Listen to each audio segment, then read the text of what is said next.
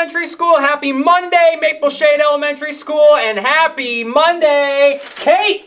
Kate, how are you doing today? I'm doing enthusiastic. Ah, yes, enthusiastic. I want like like lights going and like balls dropping and like fireworks exploding. That's the first time someone has used the word enthusiastic on the Monday morning announcements. And it's got me enthusiastic, which is exactly how we should be feeling about a new week here at Maple Shade. So, the first thing that we're going to do is we're going to enthusiastically rise for the Pledge of Allegiance.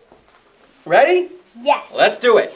I pledge allegiance to the flag of the United States of America and to the republic for which it stands, one nation, under God, indivisible, with liberty and justice for all. You may be seated. Kate, fantastic job. All right, so Kate, next year at this time, this kind of announcement, this is what you're going to be paying attention to. You don't have to pay that much attention to you yet because this really only applies to the fifth grade. But next year, you'd be like, oh, what's going to happen next? So fifth grade, here you go. First lunch this week um, is homerooms 20 and 19. That's first lunch this week. And um, first recess this week is rooms 15, 17, and 18. Make sure that you are going where you're supposed to be going.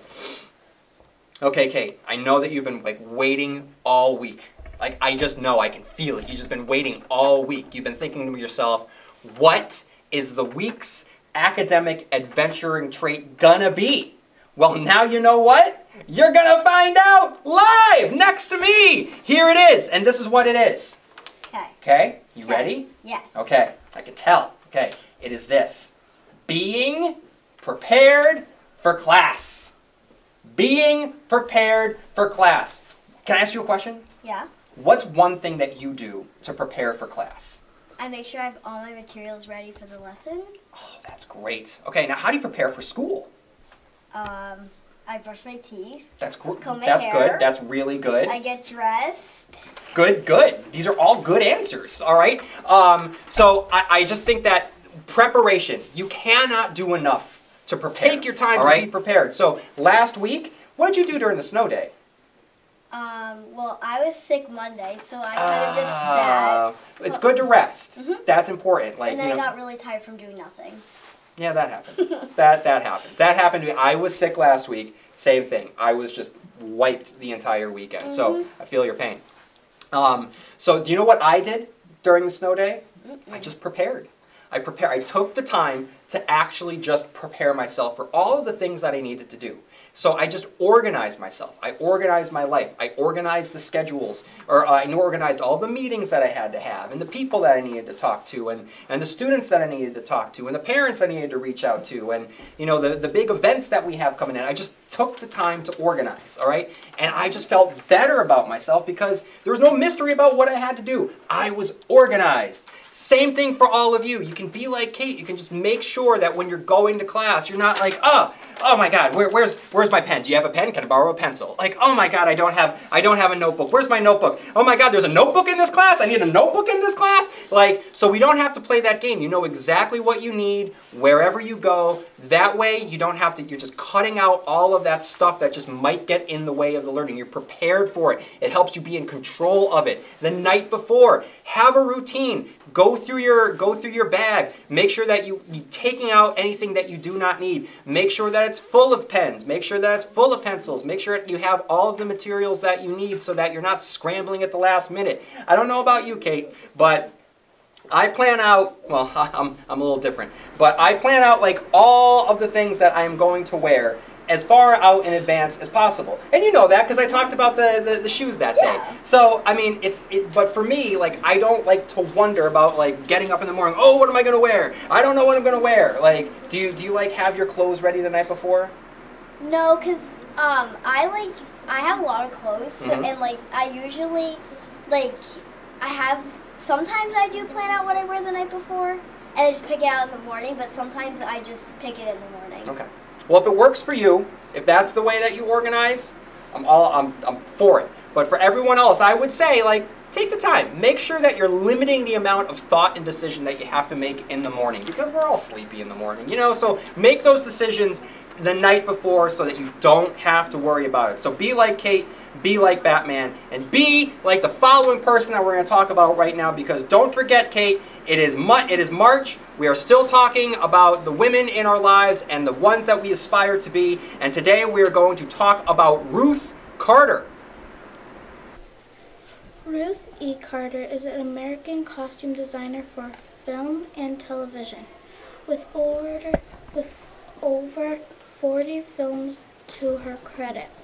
During her 30-year plus film career, Carter has been nominated four times for the Academy Award for the Best Costume Design. For her work on Spike Lee's biographic film Malcolm 1992. Steven Spielberg, Spielberg historical drama film. Um, in 1997 and her most recent work on Ryan Coogler Marvel superhero films Black Panther and Black Panther Wakanda Forever. For her work on Black Panther, she won the award and, and thus became the first African American to win Academia, Academian Award in that category. This past week, she made further history by winning the same award for Black Panther Wakanda Forever, which makes her first black woman to win multiple Oscars in, the, in any category. Ruth E. Carter has a large exhibit exhibit at North Carolina Museum of Art displaying more than 60 of Carter's original game marks, while also showcases her impressive progress historical research and the attention to detail that exemplifies every project she brings to life. Great job, everyone. Thank you for talking about Ruth Carter. Um, okay, so let's see. So, while we're in a celebratory mood, okay, we're celebrating all sorts of things. We're celebrating the fact that Ruth Carter just won her second Academy Award. That's fantastic news. And she's just like right next door from Springfield, Mass. That's great. Okay, so while we're all enthusiastic, all right, I think that we should just channel our enthusiasm towards birthdays. Do you like birthdays, Kate? Mm -hmm. Birthdays are good.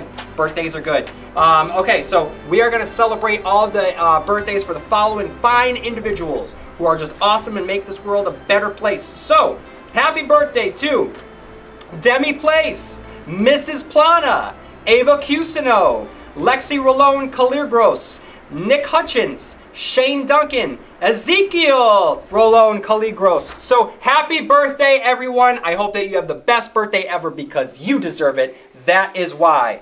Okay, and then now what goes good with a good birthday cake is just a nice cup of coffee. So my favorite part of going to weddings, I don't know if you knew this, Kate, but my favorite part about going to weddings is not the ceremony, okay? Sure, people are in love, they fall in love, they get married, that's great, okay? It's not, it's not the dinner, the dinner is always good, but it's usually the same sort of thing. My favorite part, it's not the dancing, and I like to dance. My favorite part, okay, two things. I like the cake, and I love, just at the end of the night, having a nice cup of coffee, all right? And that's what's going to happen here, okay? You are going to have two individuals here who are going to have a fresh cup of coffee from Batman himself. Mrs. Miss Brooke. Miss Brooke! Congratulations, Miss Brooke. Mrs. Porth. And Mrs. Porth. Miss Brooke and Mrs. Porth, congratulations. Okay, so I, Kate, I think that we did it. We got through it all. You know, we talked about what the fifth grade class is, how they were going to eat. We talked about the academic uh, trait. We talked about the, uh, we talked about Ruth Carter, and we talked about birthdays and coffee. So really, it's just about like getting off the air and just having our day and making sure that everyone's getting back to class, right? No. No. What? The, the joke of the day! Oh my god, uh, here I was talking about being prepared. And I'm not prepared. I wasn't even listening to my own advice. I should have been listening to your advice. So from here on out, I'm going to be listening to Kate. She's going to help me. She's going to be my life coach. All right, Kate, so you have a... I don't have a joke. Did I give you... I didn't even give you a joke. Yo, Kate, here's a joke. There's a joke for you. Why didn't the little flower ride a bike? That's a great joke. Why did the little flower ride a bike? It didn't have any pedals. It didn't have any pedals. That's a good one. Great job, Kate. Great job. All right. I hope that everyone had a great weekend. I hope that you are all planning to be prepared for the rest of this week. The more prepared you are, you are, the more successful that you will be. All right, in all aspects of life, you'll just feel better and your grades will feel better because of it as well. I guarantee that. All right, so everyone work hard this week and don't forget to have fun twice.